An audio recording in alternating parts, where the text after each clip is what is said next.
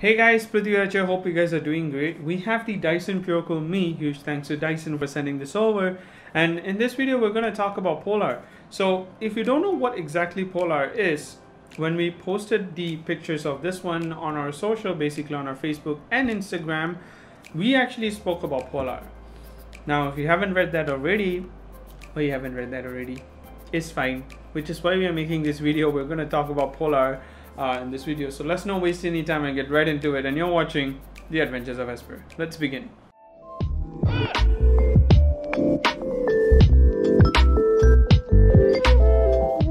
Okay, so before we jump into Polar and the whole technology behind of it, basically why does these purifier go through that Polar and whatnot, what we're going to talk about is the PureCool Me itself. Now the PureCool Me is meant for more of a personal use case scenario, hence the reason why you see the Me named right after the PureCool.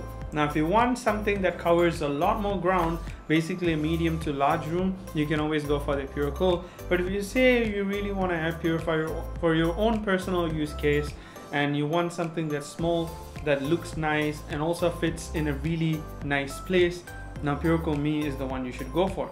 Now that said, the PureCool Me that we have here is in this copper colorway and before we get into the whole polar testing, I want to show you something interesting. Now usually in a conventional air purifier, you'll notice that the fans or whatever that is is actually located on the top head but that's not the case with this one because as you can see right here what you do have here is the slider that allows you to control the air whichever direction that you want and once you pop this up you realize that this is just a head and it doesn't have any fans or the propellers in order to you know how a fan works. So the main magic happens in the body. So in this body right here what you do see is the remote obviously here that sticks magnetically very smart. And what you do see is the motor inside here that actually has the fan part. And covering that is the filter.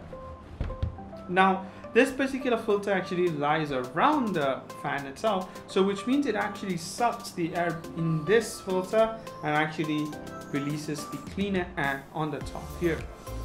Now, obviously air purifier is meant to purify the air and that's definitely the job for the PureCool Me here. But interestingly, what makes this particular air purifier effective is the test that it goes through, Polar. Now before we get into Polar, we need to talk about the global standard test that any air purifier goes through. Now that's called the CADR. Now CADR is called the Clean Air Delivery Rate.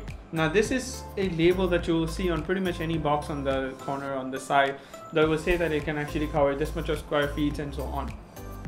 Now this is an industry standard and every single air purifier manufacturers actually send this or send their product to this particular testing in order to make sure that their air purifiers are effective.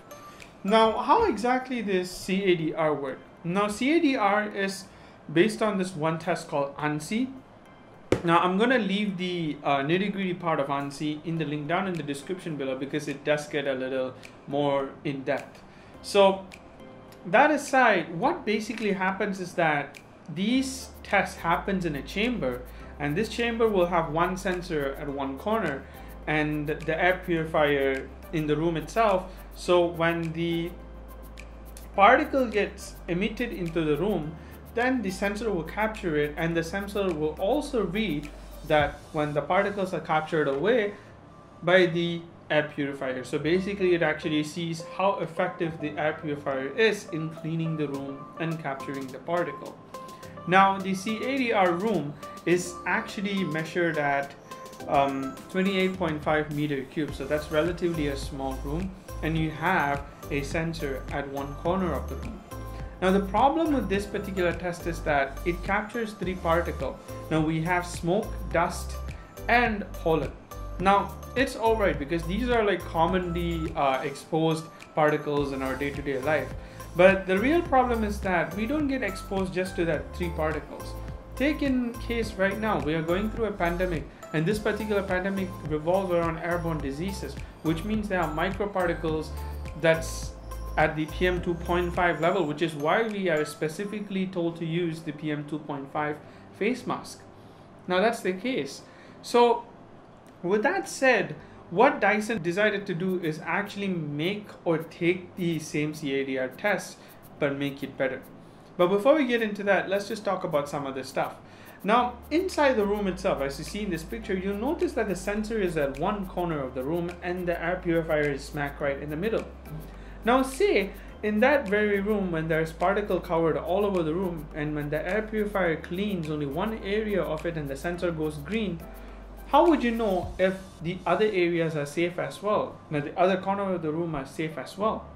That's the thing because this test is kind of flawed, but and also at the very same time, this particular effectiveness of this test, what they will do is they'll actually do the math and actually say how much area it can cover.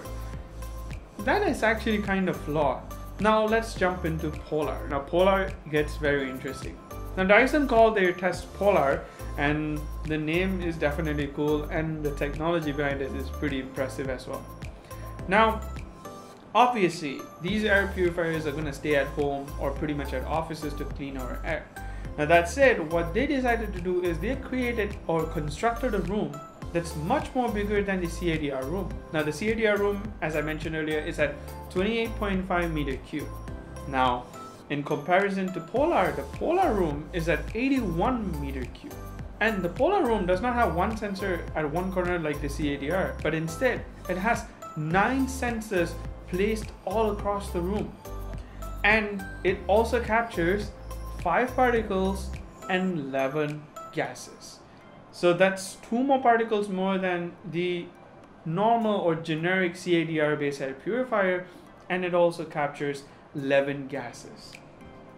Now, once these air purifiers that's made by Dyson are placed into the polar chamber, what they would do is that they would sit in the corner or whichever position that they're going to place it in and they will run the test.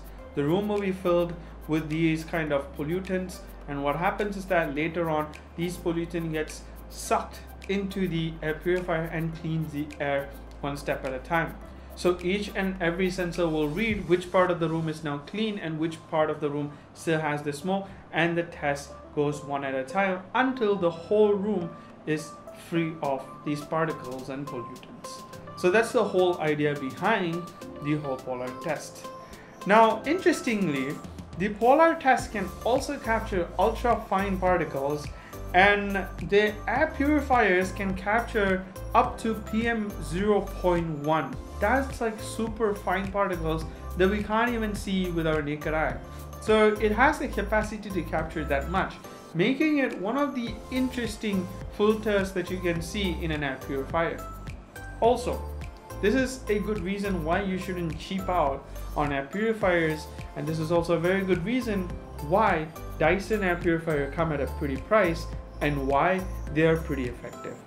Now obviously Dyson tests these air purifier based on Polar but on top of that in-depth testing they also push further by doing the full grid test. Now full grid test measures the airflow, velocity and the direction then we have the HEPA filtration efficiency test to make sure that the filter that these air purifiers have has the capacity to capture or filter 99.95 percentage of the particle as small as PM 0.1 and gaseous pollutants which comes from furnitures, cooking, and they also do a acoustic test to make sure that these air purifiers stay cool and still protect as you sleep. Because you don't want that rumbling tumbling noise that's heard in the corner of the room which annoys for a lot of people which is pretty much annoying for a lot of people and you don't want that to bother your sleep because you need a good night's sleep for a better day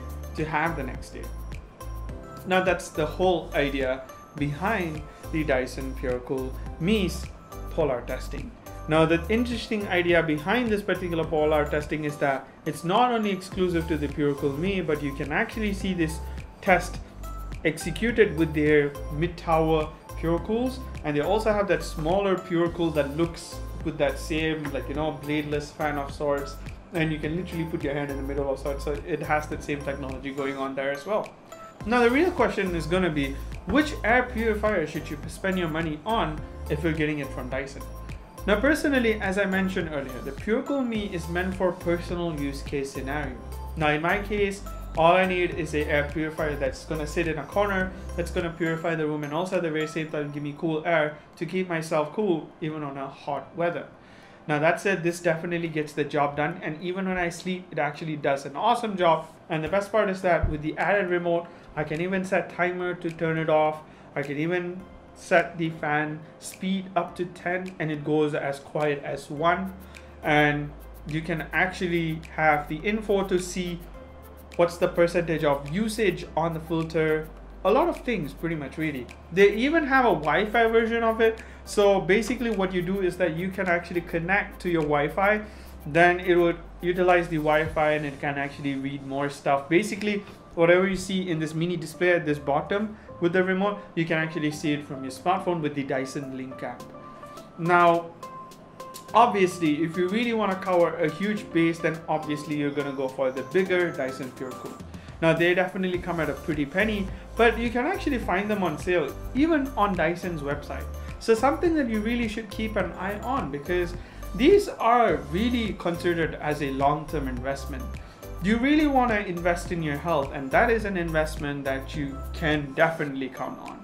And when it's backed by technologies like polar especially in dyson case to make your livelihood better and also the air you breathe around better it's definitely something you should consider spending your money on yes it's definitely expensive but it's expensive for a good reason number one the r&d that these product goes through is no joke and they really take seriously about your health.